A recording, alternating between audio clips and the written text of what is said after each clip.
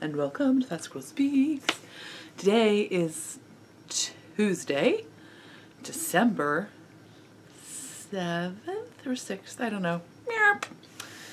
And this episode 187, I think. Maybe it's 88. Maybe it's 95. It's 180 something though, I'm pretty sure. Hi! I'm Amy Beth, also known as the Fat Squirrel on Ravelry, and the Fat SQRRL on Instagram. I'm your hostess, okay? Although it feels weird to say that I'm the hostess because, like, I feel like that implies that there's somebody here. Even though that's not, I know that's not conventionally what we say, but it's just a little weird. Just, I don't know, all of a sudden it struck me. How are you? Oh my goodness, since last time we talked, so much has happened. Real, really not that, but kind of a lot. Thanksgiving in the United States happened. What, what? Right? I haven't talked to you since then. That's right. oh, before I forget, I am wearing my shard, which if I'm not mistaken is by Romi Hill. I'm pretty sure that I'm not a liar who lies on that one. And it's another crafty girl is the yarn, but I can't remember what colorway is all of a sudden, but I actually have a project page for it. I know, right? What? It's true. I did do a project page for it. Okay. Okay. But back to what I was talking about.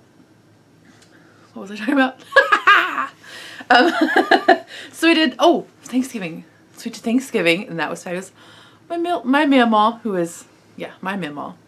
It's very confusing because I call my grandparents mama and papa, my maternal grandparents. But my mom wanted to be called mama.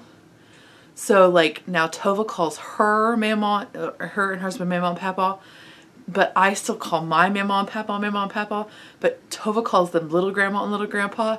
So I have to remember to talk about them in that for those words when like you needed to know that. Sorry. But my mama and papa So my mama is in a rehab center right now. She um so she's sick. Um so we didn't she wasn't so Thanksgiving was just me and Tova and and Phoenix and then my mom and, and her husband. So there were five of us. And there were also five pies. it was crazy town. So then, so like that's five people were, and then we went to rehab and visited my mom papa. And then we went to my partner's house and his family have like, uh, there was like 20 people there. So I'm a little bit like, I ended up playing on the steps with the little children and I'm not even like a kid person. I totally am not but it was just like too many people. but then we had fiesta. We do Friday Friendsgiving fiesta at my house, which is um, we do the Friday after Thanksgiving as our friends get together. And so, hi Olive.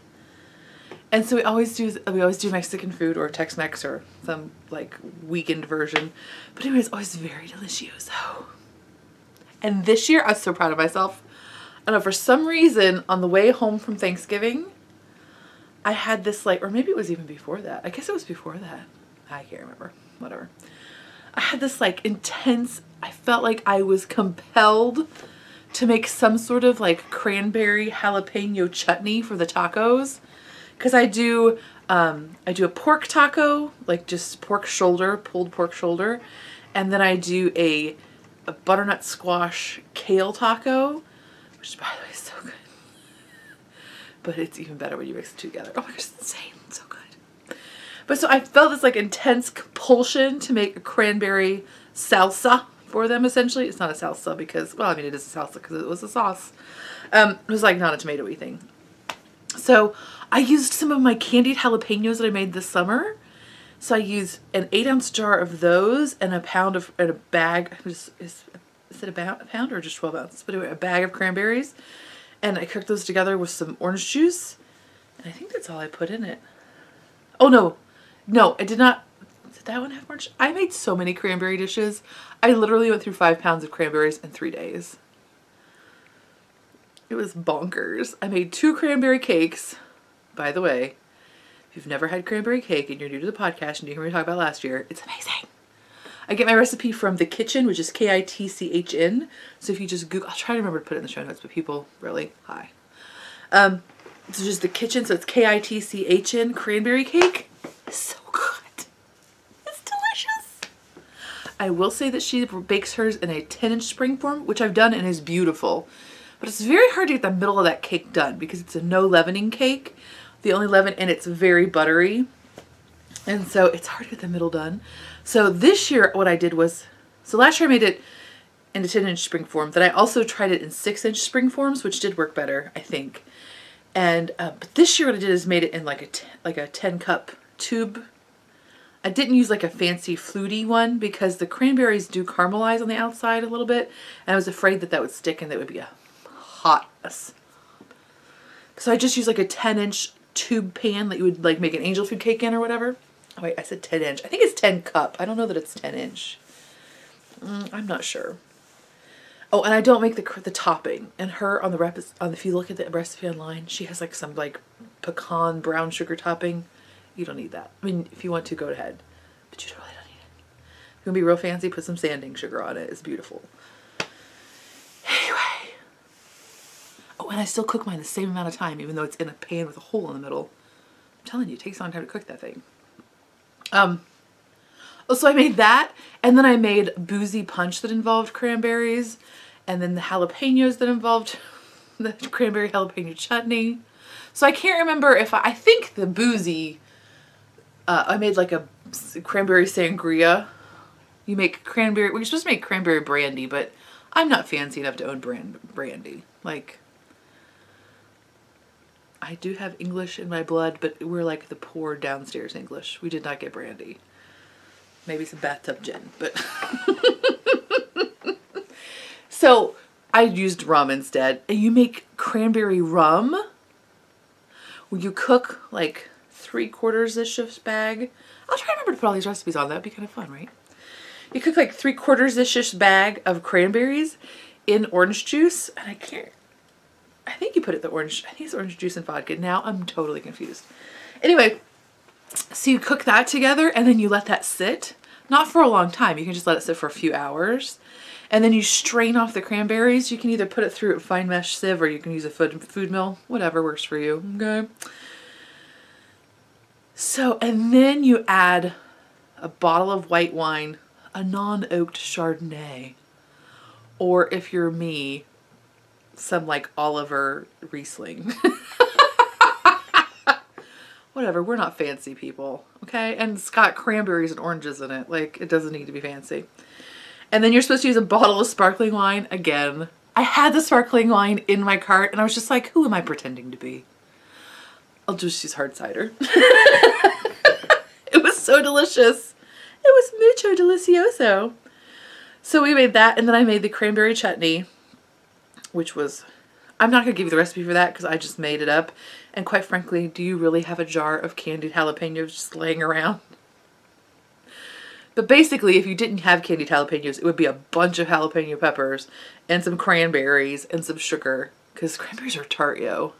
Like, mega. So, it was delicious though. It was so good.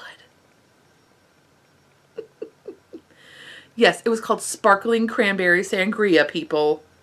It's from the Wholesome Dish. I'll try to remember, but it's Pinterest and I might forget. I know, right? I'm telling you. But it was delicious. And then what else? The cran I was very excited about the although by the time I'd eaten all of those cranberries, I never get indigestion. That's a lot of acid for your body to intake. I totally had like the burning esophagus was like, what's wrong with me? And I was like, oh, I think I've eaten like a pound of cranberries this week. That might have something to do with it. And orange juice from the boozy orange juice thing. Anyway, it was all delicious though. Successful! It was very good. And we had cranberry cake. so anyway, I think that's all. I think that's enough for shenanigans. Oh my gosh. Maybe I should remember to timestamp this. We're at nine minutes-ish. I'm not going to remember that. Anyway. It was crazy, kooky, wacky. This week's episode will have some more embroidery and Christmas ornamentry. It will have some knitting. It will have some shameless self-promotion and a very brief game review. Um, so yeah, let's get into it. Okay, okay. I feel like there was something else shenanigan I was supposed to talk to you about, but I can't remember what it was. Okay, I'm sorry, I'm distracted. Like I've, I've hidden Christmas presents underneath my work table, like in the bins where I usually keep bags that are sewn that are getting ready to ship. So I keep looking over there and be like, yeah, no, that kid can't tell if there's anything. She would never look under there anyway, except randomly sometimes when the children all come to my house, they play hide and go seek. I have a 1,400 square foot house and a business that I'm running out of it. and when they come over, there are like eight adults here. So anyway, so I was just like being like, oh, I wonder if they play hide and seek under there if they'll see anything. But no, they still can't tell if there's anything in there. anyway, so sorry I was distracted. Uh, but that's my baseline. I'm okay, okay. so the first thing I want to talk about is, I don't know if you remember last week, I talked about um, my colly birds from Crafts. I finished another one. Ah! Right? How fun are they?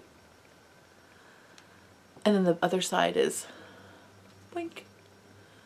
Because it's four colly birds. How cool is that? So I'm very pleased with it. Um, somebody asked me, and I can't remember which it was on the boards or somewhere else. Um, I talked briefly about this Sulky Super Solvy, Fabri-Solvy, Sticky Fabri-Solvy thing that I use uh, that's recommended in the pattern. And she said that she had used it once and had a lot of trouble getting the, um, I don't know what it's made out of. It's like, it must just be like a starch because when it gets wet, it does get very gelatinous and kind of weird. So, um, sorry, I'm right in front of the window and there's cars pulled by. um, so the first one I made, I did have a little bit of trouble getting that. That wasn't looked like, didn't look like paper at all, but it was kind of like this sticky, stiff starch stuff. And I had trouble getting off, but I thought that it was probably because I had put it into soak. So what you do is you, um, I used directions from M Crafts. So from the person who actually did this pattern. Um, so you put it in a bowl of wa cold water. you're supposed to let soak for 15 minutes, I think. And then you use the spray nozzle on your sink to spray them like really close because you don't want to rub it because you don't want to mess up your stitching. And um, so you just like spray it really close and you have to do them individually. And I had a little bit of trouble getting it off. I had to do some of them two or three times. I assumed it was because I left that in there too long and like it just like got crazy. But it did still ultimately all come off. I just had to use the spray thing a couple of times on some of them. So then this time, and also that one had black in it, which the black, it seems like the darker colors, it's harder to get it off because you can see it much more easily. Like you can feel it on the lighter colors sometimes, like around the edges especially, it seems to be harder to get off around the edges. You kind of feel maybe it's a little stiff, but you don't see it. But on the darker colors, again, it's like a starch and so it shows, that you can see like that it looks more marled or, or pebbly or heathered Heathered is a better word. So, but ultimately all came off and it was fine. And I didn't have to resort to scrubbing anything or anything. Um, this time I did just do follow directions and I only soaked it for 15 minutes. Did I say that I forgot to, and I left them in there for like an hour last time? Because hi. And that's the reason I thought. So this time I did the directions and the light pieces came off super easy. Like the, the blue and the gold and the pumpkiny color came off super easy. The gray, again, I had a little trouble with it coming off. Um, I don't know if it's because the gray is like a heathered and so it has a little bit more surface texture to it for that starchy stuff to adhere to or if it's because it's darker. But ultimately I, was able to get it off. I just had to do some of the gray pieces twice. But so yeah yay! So there's that. And then I may have had to buy I had to buy it. She just released Maids a-Milking People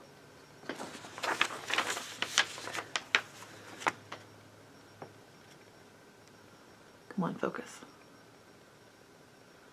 No camera, I'm really not back there. Just only focus on this. Camera's like, but we sense that you're back there. Oh my gosh, do you see it? What is that nonsense? Do you see them? I had to. So I've got to make one of those. I don't have any wood beads. But the nice thing about this one is you don't have to worry if you have some felt on hand. I feel like it's easier to um, make this little chickie happen. Oh, I like the yellow and the blue together. That's fun. Anyway, I think it's easier to make her happen with felt you happen to have on hand. Um, because again, it's clothing. It doesn't have to be specific to like a bird or anything like that. But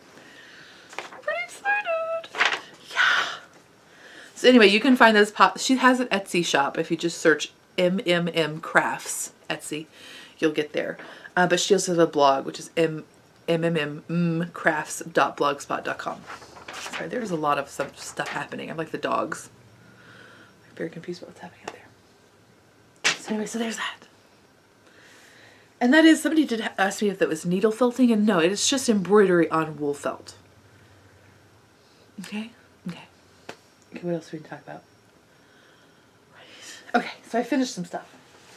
Okay, I finished one thing. No, I finished two things. Oh, I forgot the thing. Alright, whatever, I'll show you these first. So last time, I don't know if you remember, I was working on these fun little mitts. And now I can't remember what this pattern is called. Whither. The Whither-So mitts. W-H-I-T-H-E-R. Wither Sew, S-O, mitts. And that is by Bristol Ivy. And these I made with Cloudborn Sport. The pattern does call for fingering weight, but this Cloudborn that you get from Etsy, no, from Craftsy, I, you definitely, I mean, for me personally, their fingering is definitely a light fingering. And I think their sport is fingering. And I got a skein of DK to do a gift with, and it's sport. So I would, if I were going to buy it for myself, I would go up a yarn weight for whatever I plan to make. So if I plan to make a DK weight, I would buy the worsted. Does that make sense? So there, those are done. Yay! So the only thing I don't like, it's not the pattern's fault, it's just the way I do my stitches. You can see that they don't, like one side is knit two togethers and one side is SSKs and my SSKs and knit two togethers are not perfectly symmetrical. So one side, this thing lays flatter than the other, but I don't think that the, the recipient will mind. And if she does, I'll take them back. and these are my super fancy mitten blockers, which are made out of a placemat that I got from Target. I would never have made that if it, well, if it's, sometimes if it's a gift, it's nice, especially since it has this weird thing. They do look kind of funky off the blocker. They look a little bulbous. but there they are. Yay! And then, oh, I'll just show you that since I've already told you what the pattern is and we're talking about it. Um, I don't want to lose these.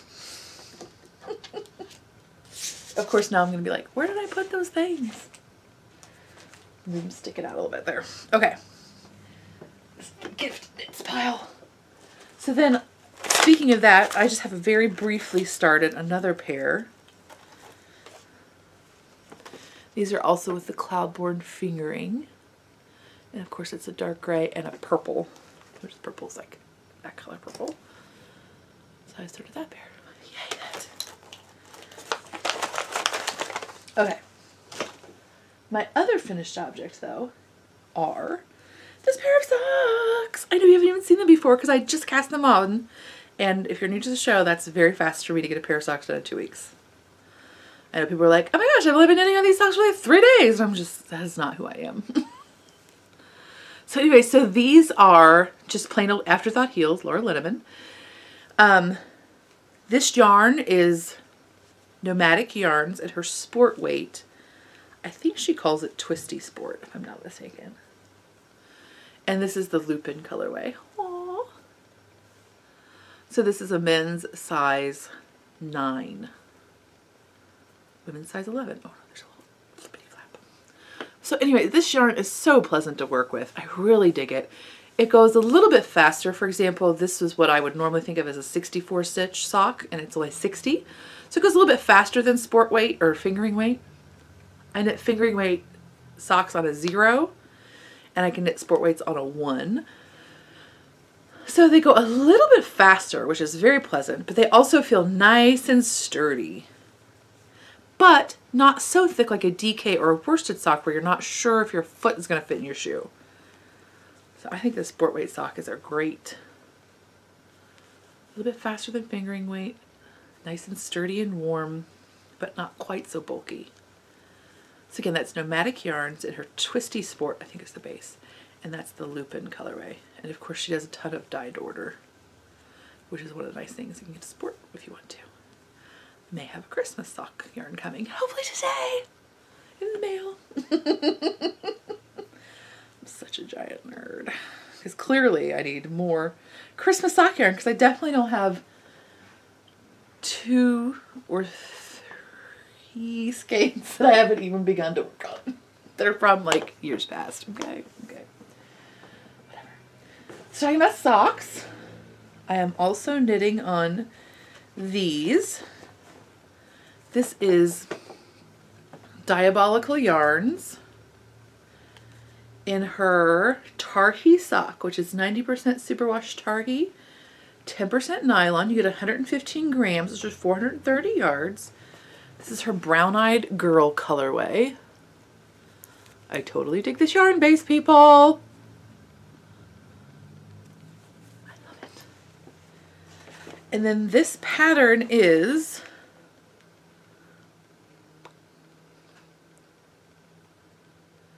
tricking you because I know it's in here, but I don't know what it is. Okay, it's Petty Harbor, which is by Raina Curtis. That's a free pattern.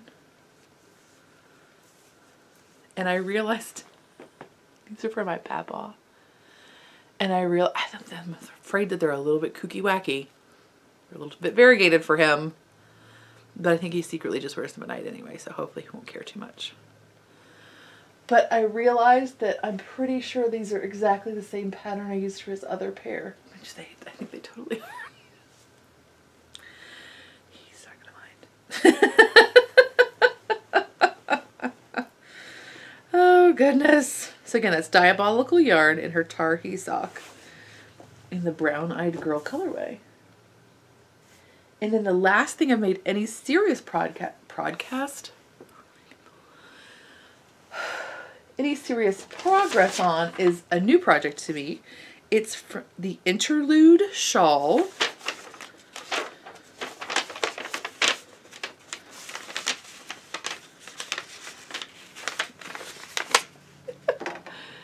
oh, that's terrible the way the color's picking up. In the real in the photograph it's like gray, yellow, and purple. Anyway, Interlude Shawl, which is by Lisa Hannes. And it's worsted weight because I may have had to purchase some of Susan B. Anderson's new yarn. What? I was doing so good at not buying any. And then something happened. I don't remember what. I must have bought something nice for somebody else and been like, I deserve a treat. And I really was only going to buy one skein. And then I bought three. so this is her Bartlett Yarns in her worsted weight.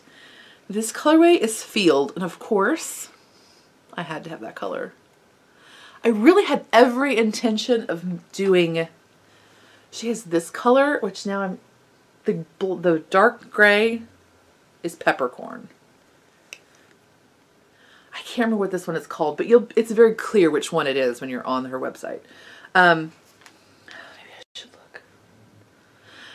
But so originally I was like, I really had my heart set on getting this. Well, I didn't have my heart set on it. I thought I'm going to get, did I say Bartlett? I meant Barrett. Barrett. B-A-R-R-E-T-T. Um, I can't remember what I said. but it's Barrett. Bartlett is a very different yarn. Um, so this color and brown, which is one of my super favorite color combinations, this is Bluff. Bluff. So she has a beautiful chocolatey brown called Bear. And so I thought I needed those two to be together. But then this stupid color always gets me. I love this color so much. It's similar. It's a little bit greener, I think, than the, than the, um, yes, it is greener than, for example, like Quince and Company's Honey. It's such a good so I was all like, why do I feel like I need these three colors together? Is that really going to work together? I'm not sure what I'm thinking. Do I? So then they came in the mail.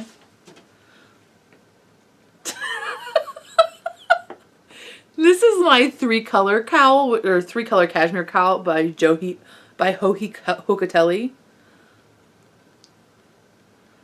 Yeah, maybe I like those colors together. Mm-hmm. So anyway, but this yarn is really, I really am digging it so far. It has a great, it is so squishy and great. I am, I'm liking it quite a bit. So here's my shawls so far.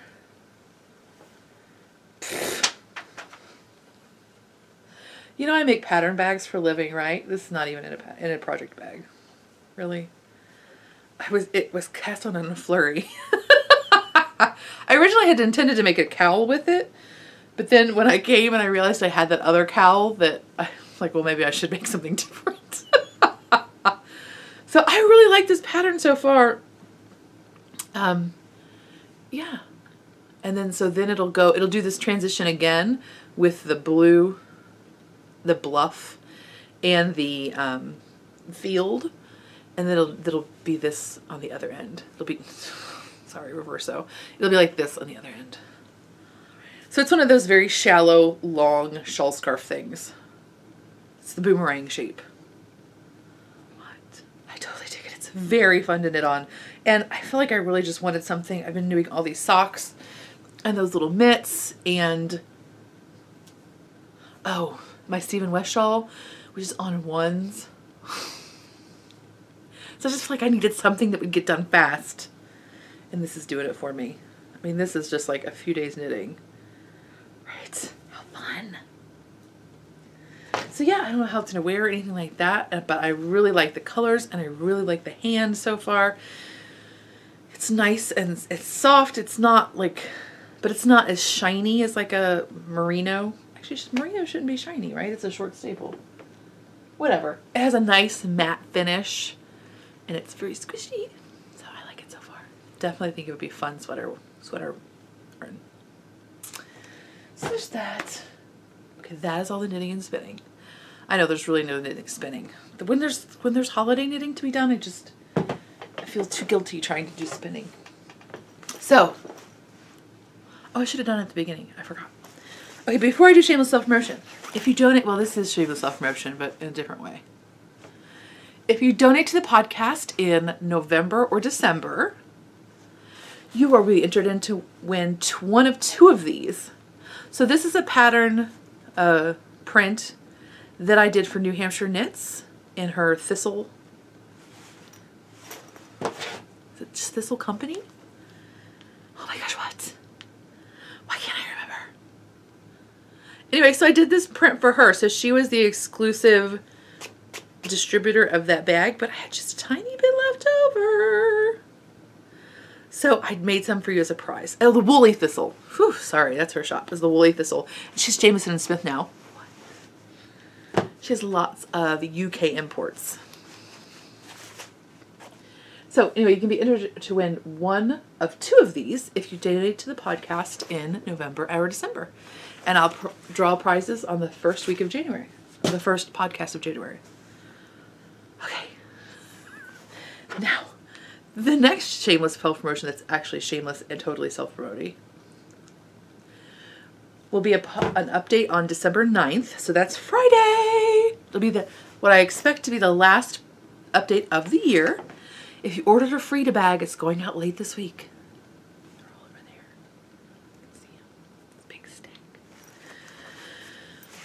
But on Friday the 9th, there will be an uh, update with these bags.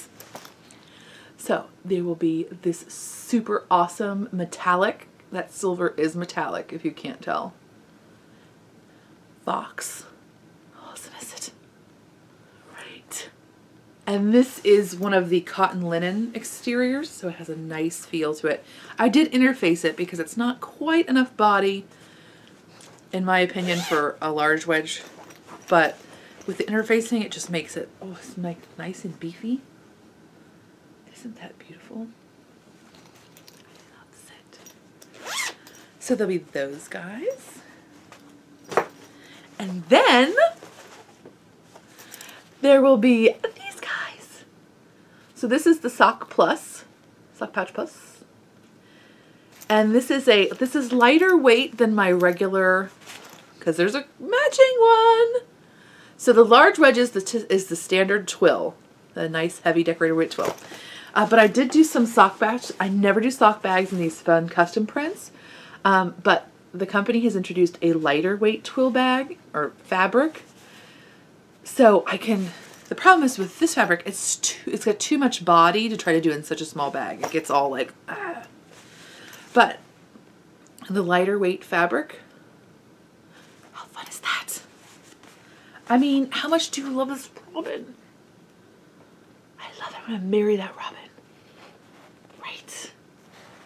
And then we're to have Coco and out of fun vintage kittles at our, do you say kettle or kittle? I know it's supposed to be kettle, but my people say kittle. My husband and I had this whole huge discussion about whether your family calls hot dogs wieners or hot dogs. My, I think my grandmother only calls them wieners. anyway, Kahn's wieners. Like the thing, the reason I remember is because my grandfather was a stray dog that my grandfather really liked, and he would give it Kahn's wieners every time it would come over. Like he'd give it one a day, and my grandmother made a huge kerfluffle, not in a bad way, but she just thought it was funny that he was so extravagant with this dog to give it a Kahn's wiener, and she had to like say the brand name every time. If you're from Cincinnati, you know what Kahn's is. Anyway, so cute hats and mittens. Doesn't this look like you could be Susan B. Anderson's friend in this world? Like this is where Susan B. Anderson lives. in her magical Wisconsin land. Right. How cute is that? This, if you buy one of these bags, it doesn't make you Susan B. Anderson's friend. I, I know, I own no part of her soul. I cannot distribute it to you. But she's awesome. but these bags are awesome too. And the cute little fox, right? Anyway. So those will go up December 9th. I'm still kind of, um, the sock bag will either have a lining with cute snowflakes on it or it'll have the plain unbleached lining. To be honest with you, I really was excited to do the fun snowflake lining, but I would like it to just be a little bit stiffer. At the same time, it's nice that you can put it in your purse and you can wad it up and it's still going to look nice, so I can't decide. But it's like a piece of electronics. Well, now it's not that way because now everything is lighter and made of nothing. But it used to be when you'd pick up an electronic thing and it didn't weigh anything, you'd be like, well, that's cheap. And so you'd have to pick up the heavier one and be like, mm, yeah, that's worth it. So that's, I don't know if that's how I feel. Like if it's just like this trick that I think it needs to be heavier or if it's really needs to be heavier, but I think maybe it's just a trick. I think it is just a trick. I think it's actually really great the way it is. I can't tell. Either way, very fun. Is that enough of me talking? Oh my gosh, it sure is. Oh wait, no it's not. Very briefly, I want to tell you about, since we're close to the holidays, I want to tell you about this fun game we got. It's called Harry Potter Battle for Hogwarts. No, it's called Harry Potter Hogwarts Battle. Sorry. There's right there. It's fun. So this is, um, it says ages 8, 11 and up. It's for two to four players and it's a cooperative deck building game. Now, I'm going to assume a lot of you don't know what that means, and that's totally fine. Because if you are not a gamer, if you're a gamer, this is still a fun game. But if you're not a gamer, or if you're like me and like, I don't think I get to call myself a gamer because I don't actually play enough games, but I do collect a nice collection of them. And I watch other people play them sometimes. But um, even if you are more familiar with non-traditional board games. Like, you know, you don't just play Scrabble and stuff. Oh, Scrabble. So even like for me, that I I feel like I am kind of into gamery games, like more complicated. Like there are games we have that have 30 page rule books and I'm okay with that. But my husband is not okay with that at all. Zero. Not interested. This is a really good game. Um, whether you have people who are just not into games or you have younger kids who have not played a lot of games. Uh, but it's a good, it has, it's cooperative. So you're playing together. So even if somebody doesn't quite know what's going on, you can help each other. That's the whole point is that you're helping each other. So there's never that one person who just feels frustrated because they don't know what's happening. So that is a very good thing. Clearly then if you have little kids, you can pull them along too. And they get to you get to play as a character. You get to play as either Harry Potter, Hermione Granger, Ron Weasley, or Neville Longbottom. So if they have any familiar with the books or the movies, the artwork is all movie artwork. Um, it's actually photographs, stills, whatever. But anyway, so what it is is it appeals to a, a huge range of people. In fact, the the um, manufacturer of this game or distributor of this game is USAopoly, which is one of the companies that does all of like the weird Monopoly games and stuff like that. So they understand that their audience is not just gamers. They're not like fantasy flight games or something. So they tried to, uh, they clearly made a decision to make this game accessible to everybody.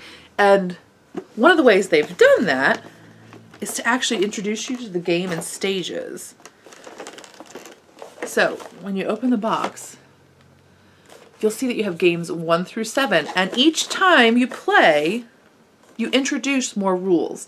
So the the directions suggest if you have played a deck building game, deck building game, you just go right to I think four or three. I can't remember. Um, some people have said just go right to just go ahead and play with the full deck, um, the full rules set.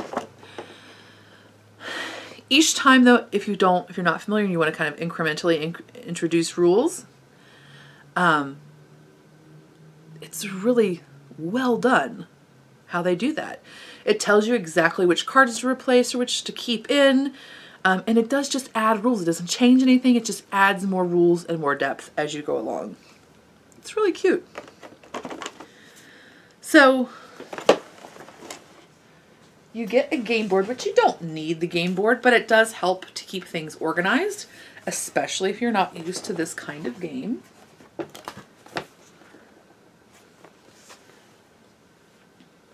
So it's completely not necessary, but again, it's nice if you're not used to this kind of game. It gives you a place to put everything and kind of lay everything out nicely and it looks fun. And this is the artwork on front and that's so fun. And then, and the rule book is not very long and it's well illustrated. There are lots of YouTube videos too about how to play the game. Each time you add rules, there's a place to do that in the back. So each time you open up one of these little boxes, there will be additional cards or dice. And then there'll also be a supplement to the rules, which will add more rules. Mm. So anyway, and then so then the box itself has like these, so these are like your little health meters because there's spells that do bad things to you. There's these great, oh, I will show you those because those are fun. So you get money and attack points, but they're also these cool little metal skull pieces like that are really nice that are part of the game. Anyway, it's really fun. You get to battle the different villains of the Harry Potter universe and your deck consists of different spells and allies. Like, oh look, Hagrid is one of your allies. So you get to use your Hagrid card or like a Fawkes card, right? Or you can get some butterbeer or you just drop it. Or the Essence of Dittany is like a healing card. So it's really fun. And again, it's a good introduction to a more complicated game versus like Sorry or whatever. It's a good transition game for people who are not as used to that. But it still has enough depth, I think, to keep somebody who is more familiar with those things uh, engaged in the game. If nothing else, you're kind of helping your other players and helping keep things on track.